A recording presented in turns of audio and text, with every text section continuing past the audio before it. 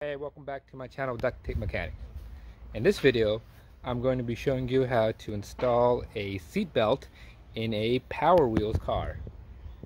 It's a little bit of a different video than I typically make, but if you like this, make sure you subscribe to my channel for more DIY and tinkering videos.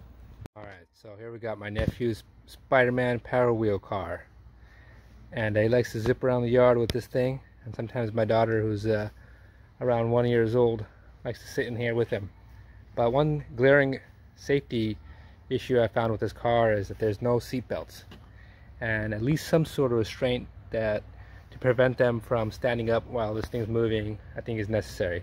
So in this video I'm going to be showing you how to install a seat belt in this Power Wheel car and uh, hopefully that provides a little bit of extra added safety. So let's get to it. Alright, so the only real thing we'll be needing in terms of material is a seat belt. I picked this up on Amazon Prime for 12 bucks and I can link it in the description of this video. Uh, I think it's meant for like strollers and stuff and uh, but we'll try to make it work for this Power Wheels car and uh, yeah that's the only real thing you need. Alright so the best way I can think about installing this is uh, by making two slits right here then installing the adjustable um, portion of the belt through and uh, under it and it comes out the back right here. Um, to do that, I'll probably have to just remove the seat, which is pretty simple. But uh, first, I'll just uh, use a Sharpie to mark the spots where I want the slits to be, then use my oscillating saw to uh, cut them out.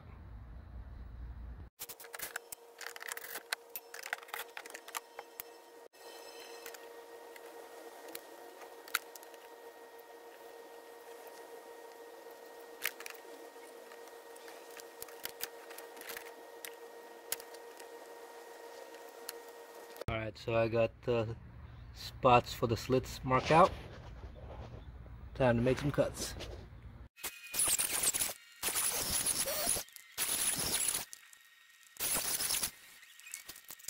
Alright, so we got the slits made on one side and uh, we're going to be feeding this belt through. Um, so see how it goes.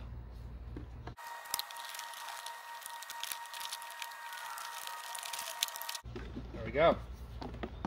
So, not gonna come out of there. All right, so now we'll do the other side.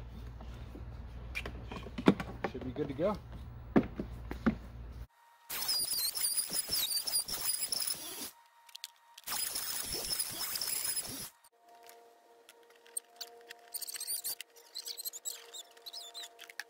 All right, so seatbelt's all done, and uh, the rightful owner of the car is here.